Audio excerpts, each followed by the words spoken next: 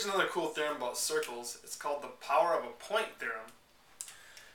And there's a couple different parts to it, but but if you have a circle, um, and a point outside that circle, just say we have point P here. Uh, Emanating from point P are two secant segments.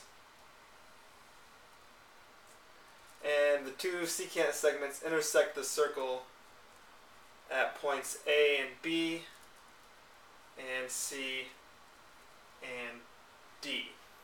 Well, then the power of the point P with respect to circle O, say, is PA times PB which is equal to PC times PB. So the theorem states PA times PB is equal to PC times PD. This is for any A, B, C, or D, which makes makes it pretty cool. So for instance, you know, if this is 5 and this is 15 and this is 6, and this is x, and we have a question that asks us to solve for x. Well, we can do that using the power of power of the point theorem. Uh, PA is 5. PB, well, PB is 20, right? Uh, 5 plus 15 is 20. PC is 6. And PD, well, PD, that's 6 plus x. This is times 6 plus x. So this is the equation you have to solve uh, to, to find x. Oh, we can do that, right? So this is 100. This is equal to 36 plus 6x. Subtract 36 from both sides. We have 64 equal to 6 x, and so we have x equal to 64 over 6, which is 32 thirds. so that's, that's the power of the point theorem. So let's, let's prove that uh, using this diagram, although there, there's another diagram we could use. Maybe I'll do that in another video.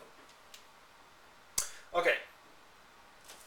So I'll just leave that diagram there.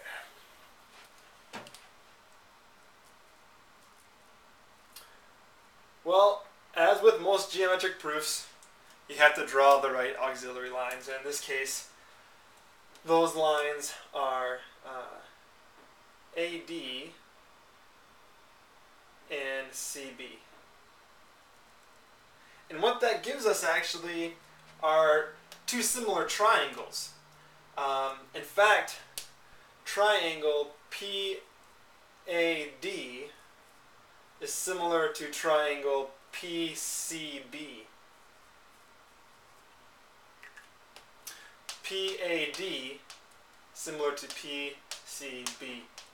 So let's show that. Well, they both share angle P, right?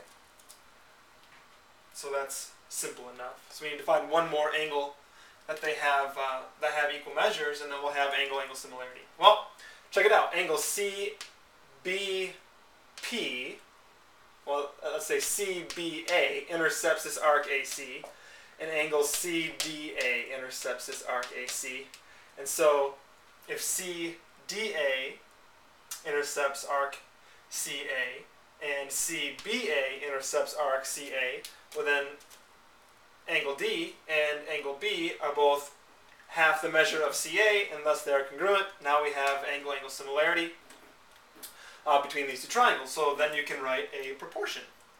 You can say that PA is to PC, PA is to PC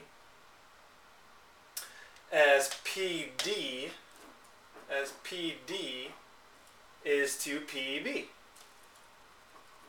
So then you can cross multiply PA times PB equals to PC times PD.